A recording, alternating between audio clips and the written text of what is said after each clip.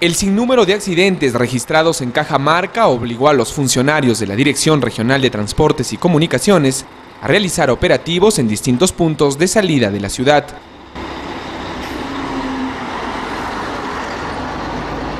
En esta ocasión, la carretera hacia Bambamarca, La Costa y San Marcos fueron las rutas del operativo. Los vehículos de transporte público, privado y de carga pesada fueron los intervenidos. Eh, yo diría que está perfecto, está bien que estén haciendo, porque muchas veces hay carros que están, este, no están al día, están con falla mecánica. Yo creo que está bien lo que están haciendo, amigos. ayuda a prevenir accidentes entonces? Por supuesto que sí. Luis Pilcón, director de Circulación Terrestre, detalló los trabajos que se realizan para prevenir accidentes de tránsito. El día de ayer y ahora estamos haciendo unos operativos, un medio operativo, Hemos traído a cuatro inspectores de Bambamar, de Chota y cuatro inspectores de la, subregión de Jaén, con la finalidad de hacer una pasantía acá con ellos y, estamos interviniendo en cuatro puntos de la ciudad.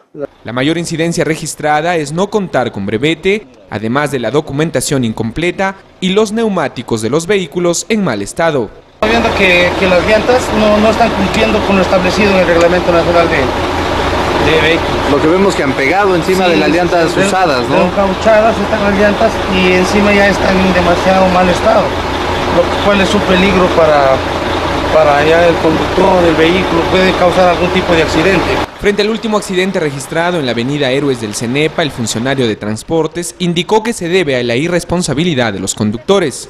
Eh, han entrado como cinco volquetes, dos están acá, son, hay volquetes de 15 cubos, que han salido ya pagando su infracción, eh, no tienen sus permisos, algunos no tienen brevete, y ustedes saben que para bajar esa vía tan peligrosa como es la Héroes del Cenepa, y si un conductor no tiene la experiencia suficiente, ocasiona los accidentes que, que han habido. A veces bajan a toda velocidad, eh, hay, hay, jivas, muchos frenan también y el aire va el aire, entonces ya no agarran los frenos, a veces quieren hacer cambio en plena bajada, no entra el cambio y entonces los carros se vacían los frenos y se van y ocasionan los accidentes. La falta de compromiso por parte de la Policía Nacional se ve reflejada en estos operativos, a pesar de que los efectivos reciben 70 soles por cada intervención. No, eh, a todos los policías que nos apoyan nosotros para hacer los operativos oficializamos mandamos los suizos correspondientes, indicando el número de efectivos que necesitamos y a esos efectivos se les paga 80 a 70 soles diarios que es su alimentación a cada uno de ellos. Claro que, o sea, entonces no vienen obligados, sino hay un pago de por medio para que puedan apoyarlos. Sí, se coordina y se les paga 70 soles para su alimentación por día. Pesar que se pague este monto, vemos la falta de presencia de efectivos. Sí, falta un poco más de apoyo, que sea un poco más efectivo y cuando los operativos son fuera de Cajamarca se paga un día de viáticos que es 140 soles.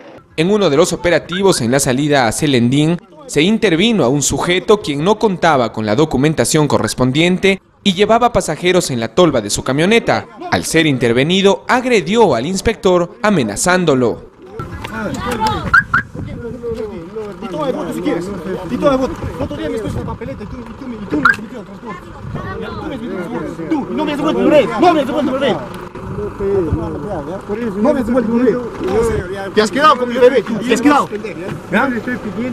Ante esta situación, el área legal de la Dirección de Transportes está tomando las medidas para anular definitivamente el brevete del sujeto por esta mala actitud.